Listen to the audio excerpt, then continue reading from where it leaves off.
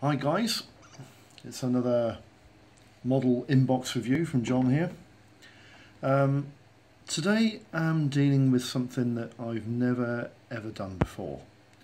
I'm dealing with a scale that I've never touched as in 1 100 scale and the model subject as you can see on the screen is the Elfricke Tricolores Fiat G91 PANs.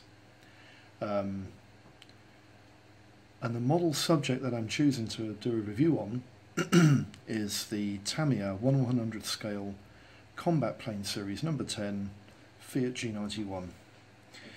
Basically this kit, I'll just go through the boxing history because there's not an awful lot in it. We'll just um, take this picture off the square, the lovely picture there, the Frecce Tricolori. That was taken at RAF Greenham Common during uh, the International Air Tattoo in 1981. Um, I think I might actually have been there, I'm not sure. Uh, but anyway, we'll, we'll, go into the open boxes now. The, the original release of this Tamiya kit, believe it or not, was 1969. And it came out in this style boxing. And it's interesting because the box art on the original uh, boxing release has actually been re-released on their later models that is available in the shops today. But this kit was originally uh, released in 1969, which makes the kit um, I do believe it's 48 years old, so it's not a young, it's not a young lady at all. Um, then something very interesting happened between Tamiya and Revell because Revell released this kit in 1986. Um, and they released it with German markings, which is, well, I suppose it ends because Germans are, uh, is a German company, um, so there we go. But it was uh, released in 1986 under the Revell label, and that's the boxing for it there. Um, I quite like the boxing on the Revell kit actually, and the model, you know, the, the actual model is a picture of the model when it's finished and built, which is quite nice. Um, then we go into the modern release boxing, and this is only the third reissue boxing of this kit and this is how you can buy it in the shops today. This model is actually available in the shops today along with all the other combat plane series which um, the Fiat G91 is actually the 10th of 10 kits in this range. Um, I like this range a lot. I'm going to go into the reasons why I like this range a lot as I do the review. So basically I'm going to, um, I'll leave you with a nice image of a German R4 and I'll just take the camera image up here a little bit so that you can uh, you can see what's going on. There we go. Same as normal. You know it is lads you know? Got a pair of scissors here so I can open the bag in a minute. Um, but basically here's the box. This is the kit I'm reviewing.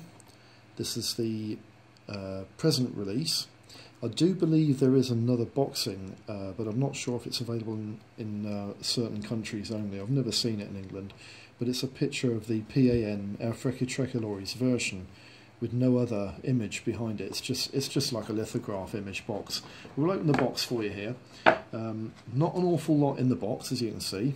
You've got a bag of parts, a nice instruction leaflet, and a set of decals, and some hairy fairy information on the inside of the box. So we'll just put all that crap down there for us for a minute.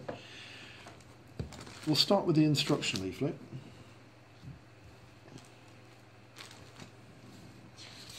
The instruction leaflet is typical Tamiya. I have built quite a few Tamiya kits and it doesn't seem to make any difference whether they're kits uh, small, cheap, large or expensive. The quality of the instructions is like this. Nicely drawn, clearly played, laid out. The um, paint scheme is clearly drawn. Um, and even though they're a Japanese company, although it quite was quite funny when you get some of their early kits, the uh, English translation of some of their um, guides on the instruction leaflet was always quite funny at times. I do like the way they've laid out their, their instruction leaflets. It's very nicely, clearly defined. The kit builds up in three steps on the instruction leaflet, as you can see, with a paint plan on the back and a decal guide on the back. There's not a huge number of decals on this kit, um, but being 1 100th scale, you have to remember this is a smaller kit than the 172nd scale usual kits that you come up with. Um, but basically, you've got two different nose cone sections, but three different versions for the, for the three or four different variants of the kit that you can build from this model. You have uh, one one nose cone which is for the PAN models, and the other nose cone which is for the ground attack air, frontline uh, ground attack aircraft. Um, and the difference you'll see them in a minute as I show you the parts. It's quite a basic interior, but I must state that the interior, when you put it together, it actually forms a proper bulkhead and it also forms a reasonable floor pan. And there is enough room to put, say, a small lead weight into the nose cone to make sure that the aircraft doesn't sit on its tail. One piece wing. Uh, it actually has a jet pipe, which is more than you can say for the Airfix 72nd scale kit and an awful lot of other Fiat G91 models that you actually come up with, you know, that you, you can get about. Um, it has two Defa machine guns on the front here. You've got to remember what you, this detail is on this kit, and when you see the parts, you'll see exactly why I'm surprised there is so much detail in this kit that there is. You've got options for undercarriage up or undercarriage down. You've got options for the air brakes to be open or open or closed, sorry and the nose wheel obviously and all the doors. And all the doors, if you want the undercarriage to be in the open position, they all have separate parts for the doors. Um, even the nose wheel doors, it actually has, and this I really like, because this part here is going to save you an awful lot of preparatory work prior to painting the nose wheel bay, because you always have a line, don't you, when you put the fuselage halves together, but this is going to hide all that, which is fantastic. Um, undercarriage legs go in the location holes there, very, very straightforward. And then you finish off on step three with the armaments fit. It's basically two drop tanks and two bombs. The bombs obviously go on the outer section because the inboard pylons on the G91 were wet to receive fuel. So that's the instruction leaflet. Um, again, typical Tamiya. It's very well, very well um, printed, easy to follow, and quite a lot of information there to go through with. The next thing I want to quickly do is have a look at the decals because I keep mentioning the top four companies that have gone to town with their decals. Um, Airfix, Revell, Italeri and Tamiya. I'm going to try and get these decals out. I might have to, let's just snip this. I might have to snip this a little bit just to get it to come out. There we go. Right. Here are the decals. Now, the decals, yeah, there aren't very many of them. There's no stencils to speak of, no nose steps and tiny little markings and things that you have to put all over the airframe. But you have quite a faithfully reproduced set of lines uh, for the Efreki Tricolores aerobatic team version. There's markings for the Hellenic Air Force here, and I do believe there's two variants of the Italian Air Force ground attack version which you can build from this kit. So in all in all, uh, there are four variants which you can build from this kit, and I think that's usually twice as many variants as you normally get in any kit, up to I'd say 48 scale at least. Um, although most 48 scale kits usually you only get an option of two.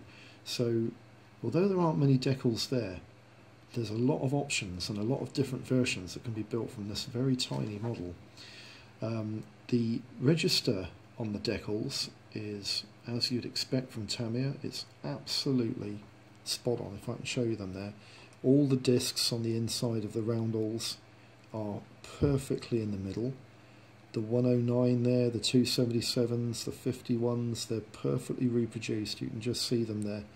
Um, there is a slight sheen on the decals for the, the surrounds backing of the decals, but it's no more than I would say any other decal sheet produces. Um, and to be honest with you, when you gloss varnish this kit prior to um, applying the decals and then your matte coat over the top, that sheen's going to disappear nice and easy. I'm just running my finger over these decals and the ridges over the decals from the backing paper is absolutely minimal. I can barely feel them. You can feel the decals when they go over your thumb like, but you you can barely feel them. They're really, really crisp, lovely set of decals there. So really pleased with those. I think um, I think the options that you get with this Tamiya kit is very good. Again, I must stress I've never, never ever dealt with 1 100th scale. It's a scale that is totally new to me. I have built a couple of 144th and I find them a little bit too small. Um, and some 172nd scale kits, in some cases, can be quite large. Um, you know, when you start, start talking about aircraft like the Lancaster and the Liberator and the B-17, they can be quite large, space-consuming in your house kits. Um, and th this isn't, but this is something that I found interesting. First of all, I don't really want to take this canopy out of the bag because I want to try and keep it safe and sound when I build this model.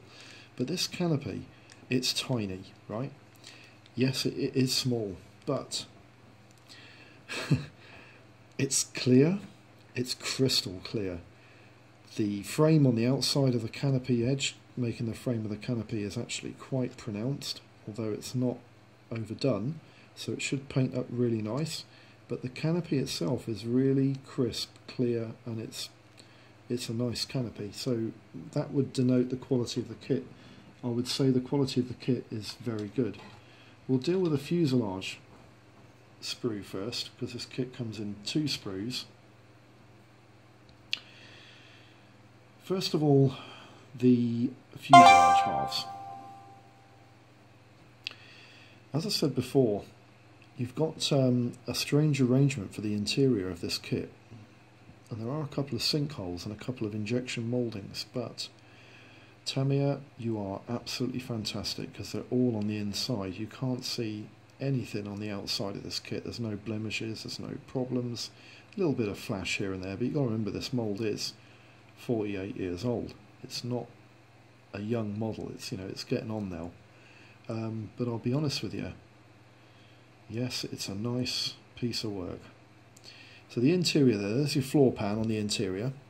The seat fits into the back of the bulkhead, so when the seat goes in the front of the bulkhead, you can see here, it's going to make up the rest of the floor pan.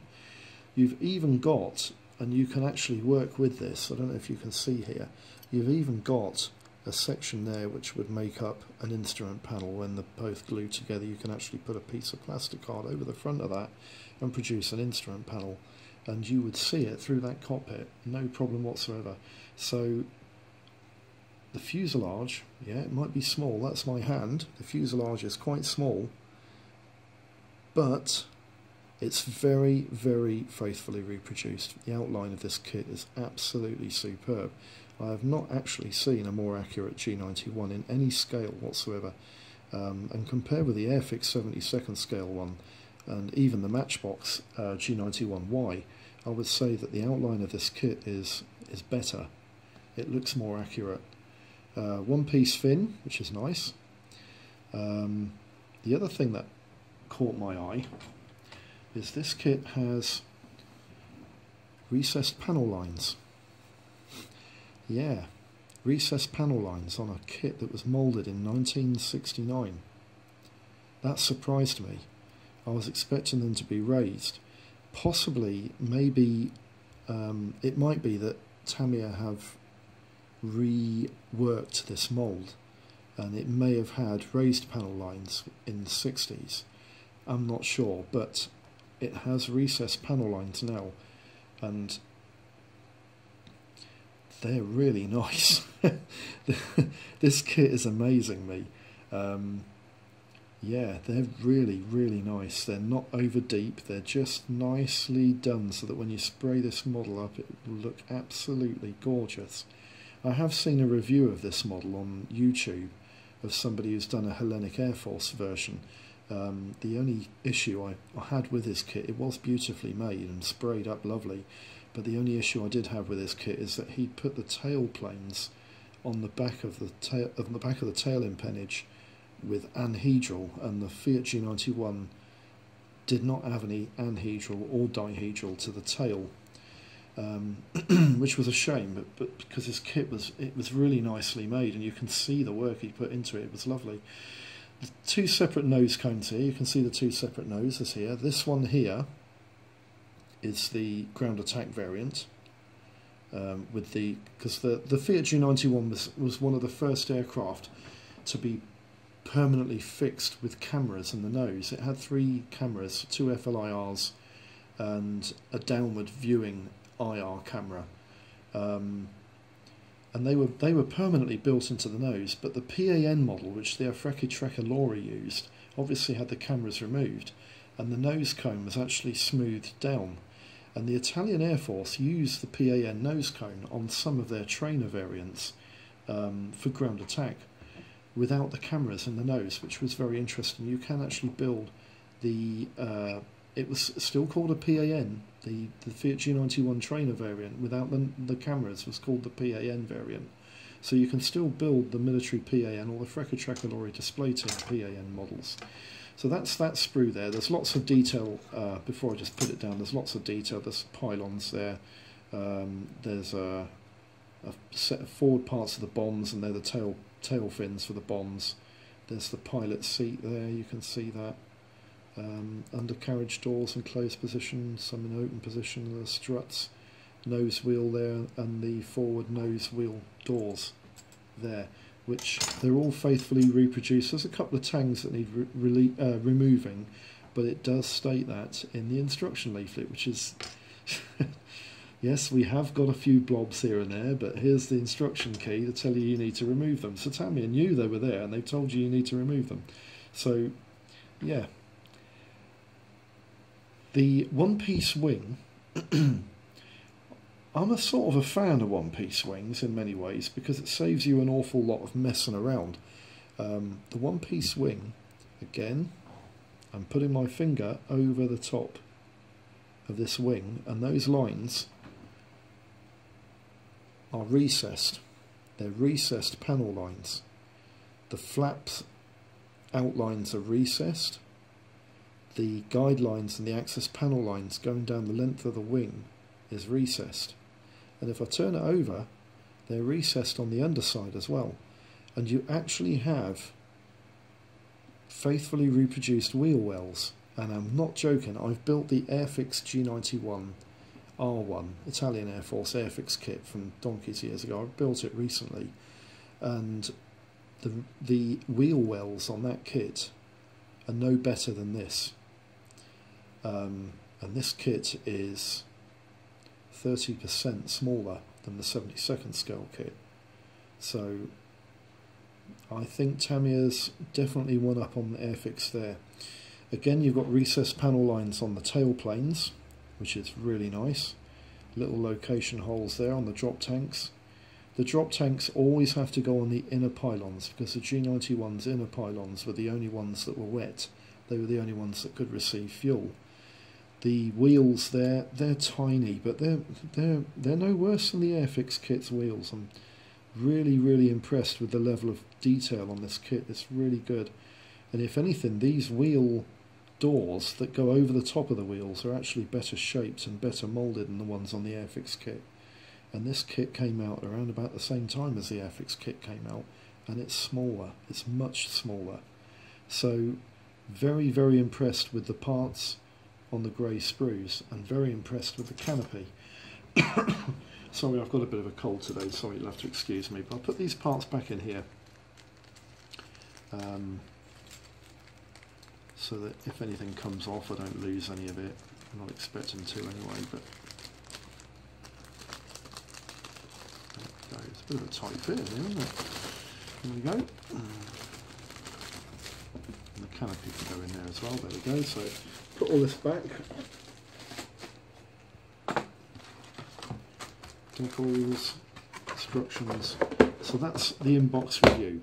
That's all the parts done and dusted. But before I close this video, I just want to um, I want to go over the technical details of this kit and the only way I can do that is to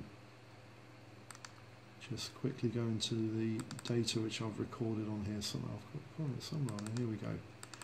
Right, basically, this model review is of the Tamiya 1 100 scale Fiat G91 R1 or R4, but it also covers the PAN version, which is the Elfrecca Trekker lorries aerobatic team variant. The original release date was 1968,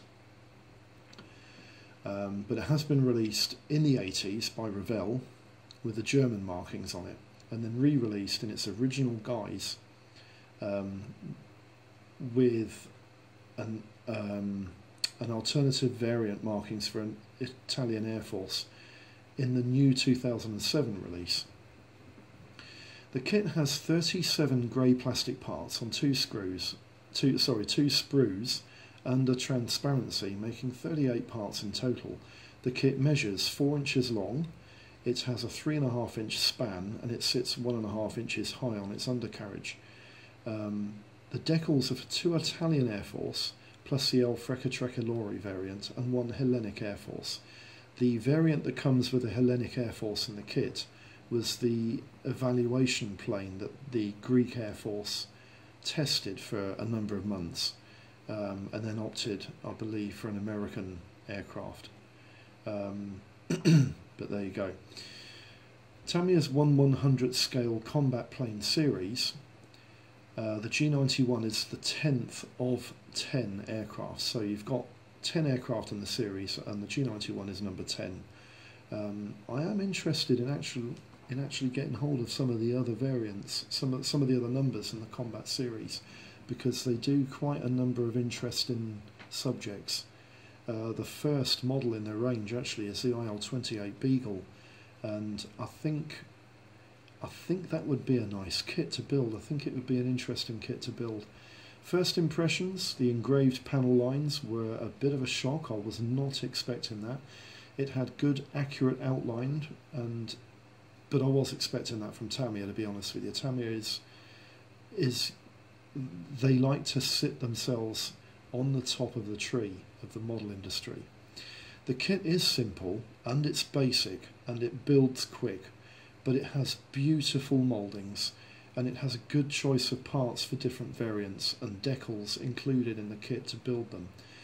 Although the older kits, especially the Revell release, can hold a bigger price tag, can be up to about £20, some even 25 it is a good value for money kit from a range of 10 models, which, to be honest with you, if space is a premium in your house, the smaller the smaller range you could actually collect them all and they wouldn't take up an awful lot of room.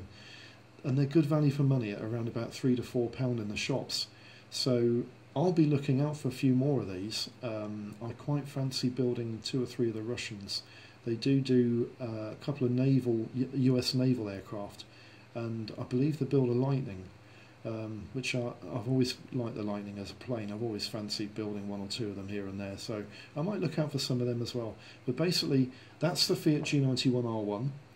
Um, very, very impressed with this release. Um, I think it would make a nice, easy kit to build, and you can try out a lot of different ideas and how you spray paints and how to apply decals how to use filler. I think this range of kits are ideal for doing that. Um, they're not expensive. You can mess around with them an awful lot, and I do think they produce quite a nice finished product. So if you fancy a Fiat G91 that doesn't take up as much room as say a 72nd scale one, go for the 1 100th. I think they're a good option. So I'll be bringing a video on the um, the review of the build on this kit when it's finished. So hope you'll look out for that, and I hope you'll look out for the next video I bring up. Um, I'll see you again soon, lads. Bye bye.